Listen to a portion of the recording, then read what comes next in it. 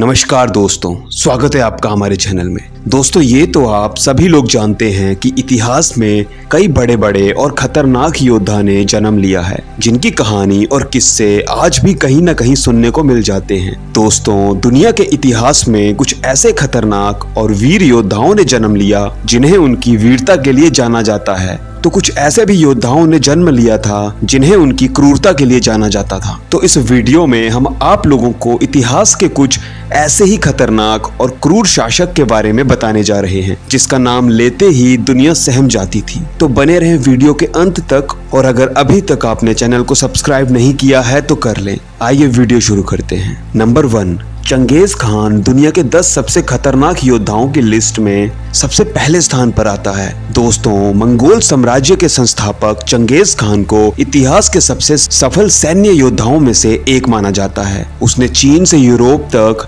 विशाल प्रदेशों पर विजय प्राप्त की और युद्ध के मैदान में अपनी क्रूरता के लिए जाना जाता था। चंगेज खान इतिहास में दर्ज एक ऐसा नाम है जिसे पूरी दुनिया जानती है। उसके जुर्म, लूटपाट और विरासत की कहानियाँ अक्सर सुनने को मिल जाती हैं। चंगेज खान एक ऐसा खूंखार हत्यारा था कि वो जिस रास्ते से गुजर जाता था, वह मौत और तबाही के सिवा कुछ न बचता था। उसके सैनिक शहरों और गाँव को लूटते समय अपनी निशानी के तौर पर लोगों के कटे सिरों का ढेर लगा जाते थे। सिर्फ़ लूट और हत्याएँ ही नहीं, बल्कि उसने बड़े पैमाने पर महिलाओं का बलात्कार भी किया। सुंदर दिखने वाली महिलाओं को वह अपनी हरम में शामिल कर लेता था और बाकियों का कत्ल करवा देता था। दोस्तों, चंगेज खान की सैकड़ों पत्नियाँ थी। इन पत्नियों से चंगेज खान के कुल 200 बेटे हुए, जिनमें से कईयों ने आगे चलकर खुद के साम्राज्य स्थापित कर बड़े बड़े हरम बनाए। इतने बड़े परिवार के बावजूद चंगेज खान को मौत के समय किसी का भी साथ नसीब नहीं हुआ। आज तक यह पता नहीं चल सका है कि चंगेज खान की कब्र वास्तव में कहाँ है। उसके मौत के कारणों को लेकर भी कई तरह के दावे किए जाते हैं। दोस्तों, दुनिया के हर 200 में से एक पुरुष चंगेज खान का वंशज है। साल 2003 के the American journal of human genetics में प्रकाशित एक अध्ययन में प्रमाण मिले थे कि चंगेज खान का डीएनए आज जीवित लगभग 1.6 करोड़ पुरुषों में मौजूद है। लिसेस्टर विश्वविद्यालय के वैज्ञानिकों के शोध में पता चला है कि मंगोलियाई साम्राज्य की सीमा में रहने वाले आठ फ़ीसदी पुरुषों के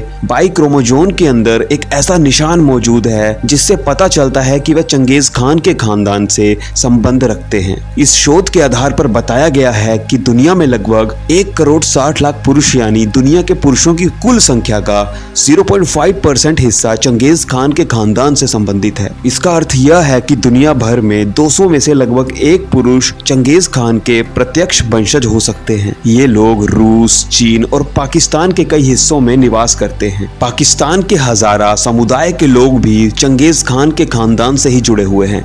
नंबर टू सिकंदर महान दुनिया के 10 सबसे खतरनाक योद्धाओं की लिस्ट में दूसरे स्थान पर आता है। दोस्तों, सिकंदर महान एक मैसेडोनियन राजा था जो 356 ईसा पूर्व से 323 ईसा पूर्व तक जीवित रहा। वह इतिहास के सबसे सफल सैन्य कमांडरों में से एक था। अपने पिता, राजा फिलिप द्वितीय की हत्या के बाद 20 साल की उम्र में अलेक्जेंडर को मैसेडोनिया की गद्दी मिली। उसने तुरंत अपनी शक्ति को मज़बूत किया, कई विद्रोहियों को हराया और फारस को जीतने के लिए अभियान शुरू किया। अगले तेरह वर्षों में सिकंदर ने ग्रीस, मिस्र, फारस और मध्य एशिया के क्षेत्रों पर विजय प्राप्त करते हुए कई सफल सैन्य अभियानों में अपनी सेना का नेतृत्व किया। सिकंदर की सैन्य प्रतिभा अपने सैनिकों को प्रेरित करने और उन्हें युद्ध में स्वयं नेतृत्व करने की क्षमता में निहित थी। वह अपनी बहादुरी के लिए जाने जाते थे। अक्सर अपने सैनिकों के सामने लड़ाई में उतरते थे। उनके पास रणनीति बनाने का भी हुनर था। वे अपने दुश्मनों को परास्त करने के लिए चालाकी और फ्लैकिंग योद्धाभ्यास जैसी रणनीति का उपयोग करते थे। अपनी सैन्य उपलब्धियों के अलावा सिकंदर को उनकी सांस्कृतिक विरासत के लिए भी याद किया जाता है। उन्होंने अपने पूरे साम्राज्य में ग्रीक संस्कृति और विचारों का प्रसार किया। कई शहरों की स्थापना की जो शिक्षा और वाणिज्य के केंद्र बन गए। उन्होंने दर्शन और कला में रुचि को बढ़ा बढ़ावा दिया। कलाकारों और विद्वानों को संरक्षण दिया और विभिन्न संस्कृतियों के बीच विचारों के आदान प्रदान को प्रोत्साहित किया। दोस्तों, सिकंदर की मृत्यु 323 ईसा पूर्व में संभवतः बुखार से हुई थी। वह सिर्फ़ 32 साल के थे, लेकिन उन्होंने पहले ही इतना कुछ हासिल कर लिया था जितना अधिकांश लोग अपने जीवन काल में हासिल करने की उम्मीद नहीं कर सकते थे। नंबर थ्री, इतिहास के सबसे महान योद्धा अशोक, सबसे खतरनाक योद्धाओं की लिस्ट में तीसरे नंबर पर आते हैं। दोस्तों, अशोक, जिन्हें अशोक महान के नाम से भी जाना जाता है, मौर्य राजवंश के एक भारतीय सम्राट थे, जिन्होंने दो सौ अड़सठ ईसा पूर्व से 232 ईसा पूर्व तक शासन किया था। वह भारतीय इतिहास के सबसे महान शासकों में से एक थे और उन्हें उनकी सैन्य विजय के साथ साथ बौद्ध शिक्षाओं और सिद्धांतों की वकालत के लिए भी याद किया जाता है। अपने शासन काल की शुरुआत में अशोक ने सैन्य अभियानों की एक श्रृंखला शुरू की, जिसने आधुनिक भारत के अधिकांश हिस्सों के साथ साथ वर्तमान पाकिस्तान, अफ़गानिस्तान और बांग्लादेश के कुछ हिस्सों को कवर करने के लिए मौर्य साम्राज्य का विस्तार किया। हालाँकि एक विशेष क्रूर युद्ध के बाद उनके हृदय में गहरा परिवर्तन आया और उन्होंने हिंसा और युद्ध का त्याग कर दिया। अशोक ने अहिंसा, करुणा और सभी जीवन के लिए सम्मान के बौद्ध मूल्यों को बढ़ावा देना शुरू किया। उन्होंने पत्थर के खंबे बनवाए और उन पर सामाजिक कल्याण, धार्मिक सहिष्णुता और नैतिक आचरण को बढ़ावा देने वाले शिलालेख खुदवाए। उन्होंने बौद्ध शिक्षाओं और सिद्धांतों का प्रसार करने के लिए पूरे भारत और उसके बाहर भी दूत भेजे। दोस्तों, अशोक के शासन के तहत भारत ने शांति और समृद्धि की अवधि का अनुभव किया और कला के संरक्षक और धार्मिक सहिष्णुता के प्रवर्तक के रूप में याद किया गया। उनकी विरासत भारतीय संस्कृति और समाज को प्रभावित करती रही है और वह भारत की प्राचीन और समृद्ध सांस्कृतिक विरासत का प्रतीक है। नंबर फोर, लियोनी दास दुनिया के दस सबसे खतरनाक योद्धाओं की लिस्ट में चौथे स्थान पर आते हैं। दोस्तों, स्पार्टन राजा, जिसने थर्मोपाइले की लड़ाई में विशाल फारसी सेना के खिलाफ प्रसिद्ध 300 सैनिकों का नेतृत्व किया। लियोनीदास की बहादुरी और नेतृत्व ने पूरे इतिहास में अनगिनत योद्धाओं को प्रेरित किया है। लियोनीदास यूनानी इतिहास का एक महान राजा था। वह स्पार्टन सेना का चीफ था और एक शानदार सैन्य योद्धा थे। उन्होंने थर्मोपाइले की लड़ाई के दौरान जोरदार दृष्टिकोण दिखाया था, जिससे उन्हें अमर शहीदों की श्रृंखला में शामिल किया गया है। थर्मोपाइले का युद्ध यूनानी इतिहास की एक अहम घटना थी, जिसमें 300 स्पार्टन सैनिकों ने लगभग एक लाख पर्शियन सैनिकों के साथ लड़ाई की थी। लियोनिडास ने यहाँ तक कि अपनी जान और उनकी सेना की जान की परवाह किए बिना उन परशुरामी सेनाओं के खिलाफ खतरे में खड़े होकर उन्हें रोका था। लियोनिडास की इस लड़ाई ने एक नई युद्ध तकनीक का आरंभ किया था, जो बाद में यूनानी सेना के लिए एक अहम तकनीक बन गया था। वे स्पार्टन सेना के लिए एक महत्वपूर्ण संचालक थे और उनका युद्ध करने का ढंग उनकी सेना में एक उदाहरण बन गया था। Number five,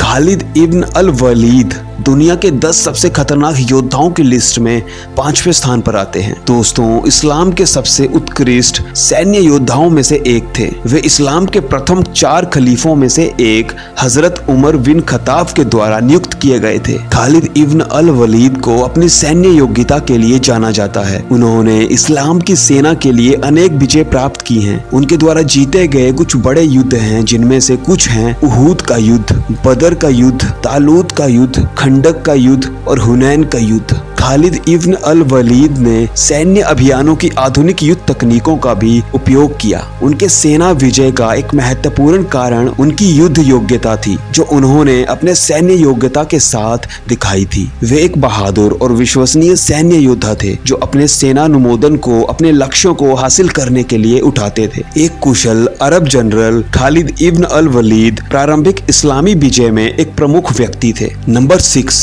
संत जू दुनिया के दस सबसे खतरनाक योद्धा के लिस्ट में छठे स्थान पर आते हैं। दोस्तों, एक चीनी सैन्य रणनीतिकार और दार्शनिक संत जू को उनकी पुस्तक द आर्ट ऑफ़ वार के लिए जाना जाता है। रणनीति पर अपने कालातीत ज्ञान के लिए इस प्रभावशाली पाठ का अभी भी दुनिया भर के सैन्य योद्धाओं द्वारा अध्ययन किया जाता है। संत जू एक चीनी सैन्य रणनीतिकार थे, जिन्होंने सूत्र द आर्ट ऑफ़ वार नामक ग्रंथ का लेखन किया था। यह ग्रंथ एक सैन्य रणनीति पुस्तक है जो सैन्य कमांडरों और राजनेताओं के लिए उपयोगी होती है। इस ग्रंथ में संत जू ने युद्ध और विजय के लिए विभिन्न विषयों पर विस्तार से विचार किए हैं। उन्होंने विभिन्न अवसरों पर विभिन्न रणनीतियों के उपयोग के बारे में चर्चा की है। जैसे कि अपनी ताकत का उपयोग करना, दुश्मन के अंतर्गत द्वेष और असुरक्षा बोध को उत्तेजित करना आदि। इस ग्रंथ में सैन्य योग्यता, सैन्य संगठन और संघर्ष के तरीकों के बारे में विस्तार से चर्चा की गई है। इस ग्रंथ के अनुसार सफल सैन्य अभियान के लिए सैन्य योद्धाओं को तैयार होना चाहिए। आक्रमण के लक्ष्य के बारे में बिल्कुल स्पष्ट होना चाहिए और उन्हें अपने सैन्य और शत्रु की समझ को बहुत अच्छी तरह समझना चाहिए।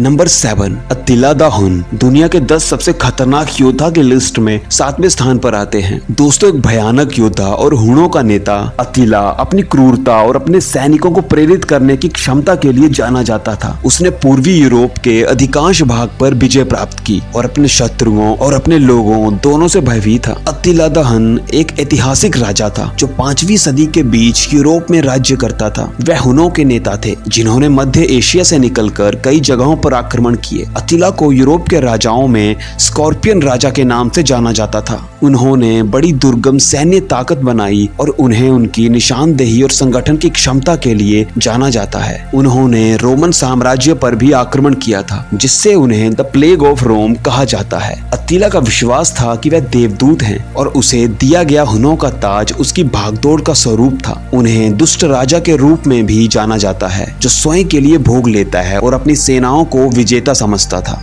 नंबर एट, विलियम वालेस दुनिया के दस सबसे खतरनाक योद्धा के लिस्ट में आठवें स्थान पर आते हैं। दोस्तों, स्कॉटिश नायक, जिसने स्कॉटिश स्वतंत्रता के युद्धों के दौरान अपने लोगों को अंग्रेज़ों के खिलाफ नेतृत्व किया, वालेस की बहादुरी और नेतृत्व ने पूरे इतिहास में अनगिनत स्कॉट्स को प्रेरित किया है और वह अभी भी एक राष्ट्रीय नायक के रूप में पूजनीय है। विलियम वालेस एक स्कॉटिश सैनिक थे, जो इंग्लैंड के ब्रिटिश शासन पर स्कॉटलैंड की आज़ादी की लड़ाई लड़ रहे थे। उन्होंने तेरहवीं सदी के आरंभ में स्कॉटलैंड के लोगों को एकजुट करने में महत्वपूर्ण भूमिका निभाई। उन्होंने सन बारह में इंग्लैंड के विरुद्ध जंग लड़ी, जो कि उनकी शानदार जीत के साथ समाप्त हुई। विलियम वॉलेस की जीत उन्हें स्कॉटलैंड के राजा के रूप में प्रतिष्ठित करवाई गई थी। विलियम वॉलेस को स्कॉटलैंड के राजा बनाने की व्यवस्था नहीं की गई थी और इंग्लैंड ने अगले साल एक बड़ी सेना भेजकर उन्हें पराजित कर दिया। उन्हें फांसी की सजा सुना दी गई और उन्होंने शहादत को स्वीकार किया। विलियम वॉलेस के बारे में अनेक कथाएँ और फ़िल्में बनी हुई हैं, जो उनकी वीरता और लड़ाई को दर्शाती हैं।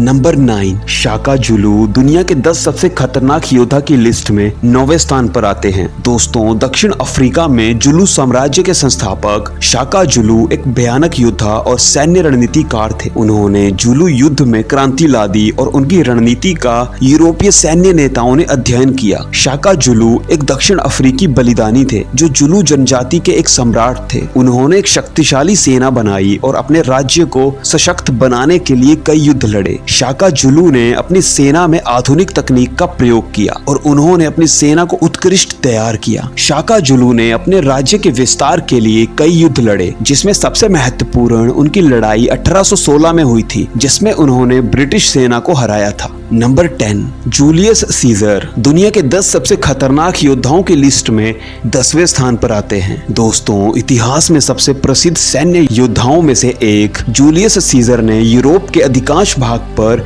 विजय प्राप्त की और अपनी रणनीतिक सोच और सामरिक प्रतिभा के लिए जाना जाता था। उनके सैन्य अभियानों ने इतिहास के पाठ्यक्रम को बदल दिया और उनकी विरासत आज भी जीवित है। जूलियस सीजर प्रसिद्ध रोमन साम्राज्यकारी थे, जो एक शताब्दी पूर्व में राज्य का संचालन करते थे। उन्होंने रोमन सेना को एक महत्वपूर्ण शक्ति बनाया था और उनकी विजयों ने उन्हें एक महान योद्धा के रूप में जाना जाता है। उन्होंने रोम की अर्थव्यवस्था को सुधारा और अपनी सेना को एक उत्कृष्ट तैयारी दी। दोस्तों, ये थी उन दस जावाज और क्रूर योद्धाओं के बारे में वो जानकारी जो शायद आप में से बहुत से लोग जानते थे और बहुत से लोग नहीं जानते थे। तो अगर हमारी वीडियो आपको पसंद आई हो तो अपने दोस्तों के साथ ज़्यादा से ज़्यादा शेयर करें। और अगर चैनल को अभी तक सब्सक्राइब नहीं किया है तो कर लें, क्योंकि हमारे चैनल पर इस तरह की वीडियोस और भी आने वाली हैं। और सबसे पहले वीडियो देखने के लिए बेल आइकन को ज़रूर प्रेस करें। मिलते हैं दोस्तों आपसे अगली वीडियो में। तब तक के लिए धन्यवाद।